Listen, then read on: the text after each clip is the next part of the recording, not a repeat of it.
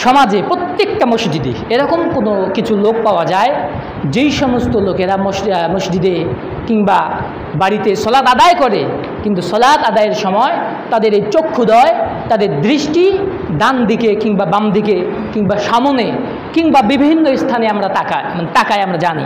এমনকি আমি এইখান থেকে অনেকে, অনেককে লক্ষ্য করি যারা পরে, পরবর্তীতে আসেন সলাত আদায় করেন। এখান থেকে লক্ষ্য করে অনেক সময় সলাতরত অবস্থায় আমার দিকে তাকায়। এটা হচ্ছে সলাতের মধ্যে বেয়াদবি, অর্থাৎ আদবের পরিবর্তিত শব্দটা হচ্ছে বেয়াদব। কি বেয়াদব? যদি আমাদের মধ্যে আদব না থাকে, তাহলে কিন্তু আমরা বেয়াদব হয়ে যাই অটোমেটিকলি এখন আপনি আপনার কেউ আমাকে বেয়াদব বললেও আমি বেয়াদব, না বললেও আমি বেয়াদব। তো আমাদের যখন আমরা আদবহীন হয়ে যাব, তখন কিন্তু আমরা বেয়াদবের সামিলে অন্তর্ভুক্ত হব। তো সলাতের মধ্যে এমন কিছু আদব রয়েছে, যেগুলো আমরা জানি না, যেগুলো থেকে আমরা গা ফেল এজন্য সবার উদ্দেশ্যে আমি কথা বলব যে আপনি যখন সলাদ শুরু করবেন, শেষ সময় পর্যন্ত আপনার দৃষ্টি থাকবে সিজদার স্থানে। কোথায়?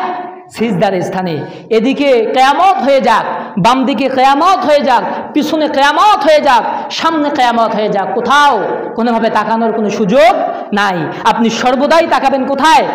সিজদার স্থানে। তবে ইল্লা, এই সময় ব্যতীত কোন সময়? আপনি যখন বৈঠকের মধ্যে থাকবে। কোথায়? অর্থাৎ যখন বসে থাকবেন, সেটা প্রথম বৈঠক হোক কিংবা সেই বৈঠক হোক, তখন এই যে হাতের যে শাহাদাত আঙ্গুল যেটাকে আমরা বলি, এটা আমরা কিন্তু স্লোভাবে নড়াই। এই স্লোভাবে যখন আপনি নড়াবেন, এই হাতের আঙ্গুলের দিকে আপনি ইশারা এই ইশারার দিকে আপনার নজরটা থাকবে। কথা মনে হয় ক্লিয়ার না? আপনি নামাজের সর্বক্ষণিক অবস্থায় আপনাকে লক্ষ্য রাখতে হবে সিজদার দিকে।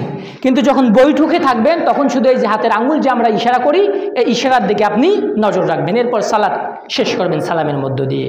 এটা হচ্ছে পরিষ্কার এবং পরিচ্ছন্ন বিষয়। তাহলে ক্লিয়ার সলাদ বিষয়ে ক্লিয়ার আমরা কীভাবে সলাদ আদায় করব? এখন আমরা অনেকেই কী করি? সলাৎ আদায় করি ঠিকই, কিন্তু সলাতের মধ্যে উদাসীন। এই যে উদাসীন কি ডান দিকে দেখি, বাম দিকে দেখি?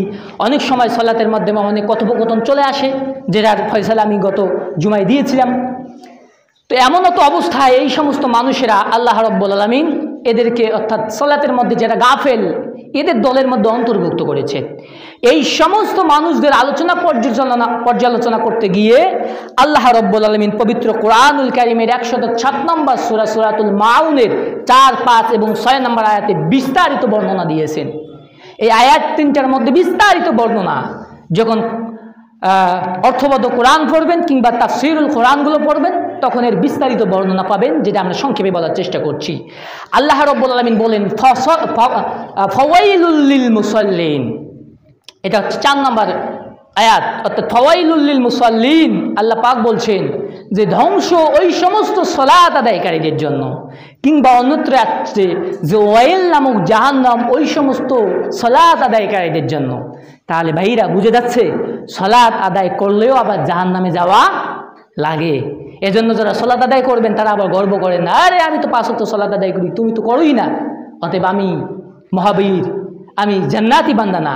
কাউকে অপেক্ষাও করতে পারবেন না। আপনি নিজে নিজেও গর্ব করতে, অহংকার করতে পারবেন না। বোঝা যাচ্ছে কেন? কারণ সলাত আদায় করার ফলেও জাহান নামে যাওয়া লাগে। তার গ্যারান্টি কে দিচ্ছেন? আল্লাহ রব্বুল আলমিন। আল্লাহ পাক বলছেন ফওয়াইলুল্লিল মুসল্লিন। ধ্বংস ওই সমস্ত সলাত আদায়কারীদের জন্য। কাদের জন্য? আল্লাযীনাহুম আং সলাতিহিম সাহুন। যারা তাদের সলাতের ব্যাপারে অমনোযোগী, যারা তাদের সলাত আদায় করার সময় সলাৎ যে আদায় করতেছে, এই সময় তাদের মনোযোগ সলাতের মধ্যে থাকে না।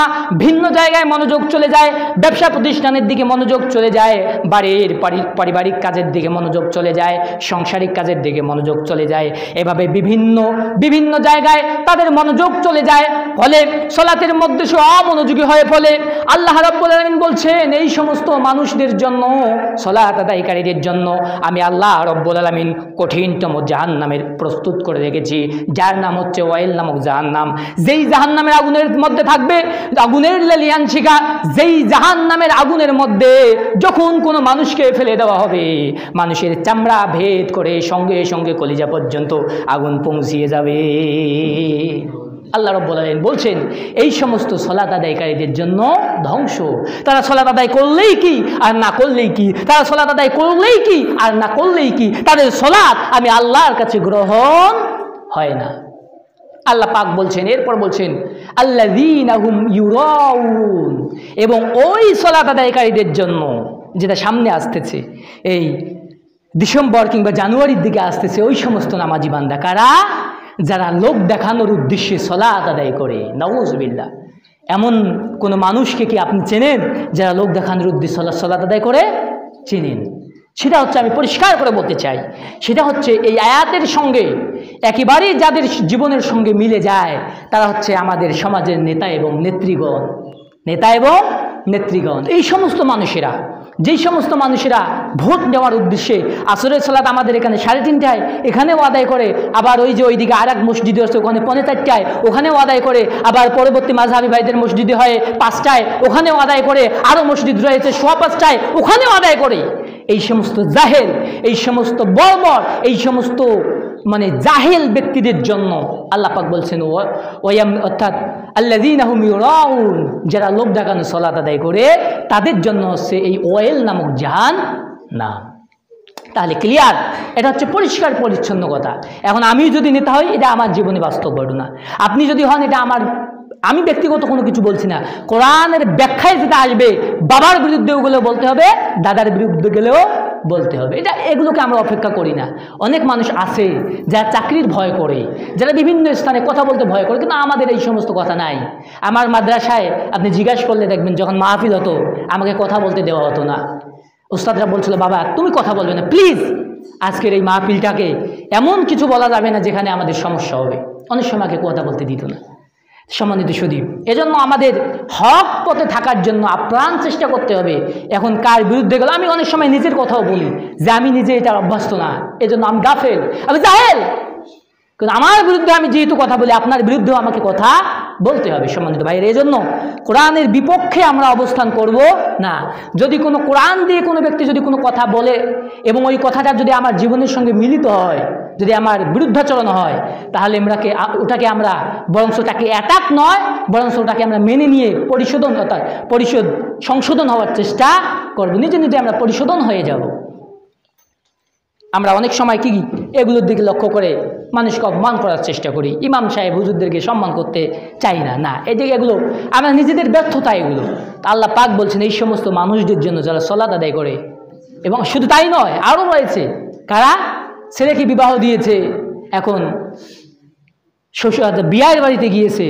আশা মাশাল্লাহ বিয়ের বাড়িতে তো সবাই পাঁচক্ত নামাজ পড়ে, একটা ছোট্ট বাচ্চা থেকে হিজাব পড়ে সমস্ত মা ভাইরা, সন্তানরা দাঁড়িয়ে আছে পাঁচক্ত নামাজের সময় মসজিদে যায়। আলহামদুলিল্লাহ, আমি তো জীবনেও কোনো দিন জুমার নামাজও পড়ি নাই। এখন এই অবস্থায় কি করি? আর ইজালা সময় হওয়ার পূর্বে বিয়ে সাহেব, আরে আপনাদের জামাত করলে চলেন চলেন আদানের সময় হয়ে গেছে মসজিদে যেতে হবে। এই যে আমাদের কুকীর্তিগুলো, এই সমস্ত যারা মানুষ দেখানো সলাত আদায় করবে, না করলে কেমন হয়? এই সমস্ত মানুষদের জন্য আল্লাহ পাক কয়েল নামক জাহান নাম শুধু তাদের জন্যই রেখেছেন। অতএব আমাদেরকে সাবধান এবং সতর্কতা অবলম্বন করতে হবে। আমাদের সলাদটা যেন কোনো পৃথিবীর কোনো মানুষকে দেখানো না হয়ে এক মাত্র কার উদ্দেশ্য হয়? আমাদের রবের উদ্দেশ্য হয়, আল্লাহর উদ্দেশ্য হয়। আল্লাহ রব্বুল আলমিন আমাদেরকে টানা তেনার উদ্দেশ্যে পাঁচ অক্ত সলাদ কায়েম করার তৌফিক দান করুন, আমরা সকলে বলি আল্লাহ আমিন।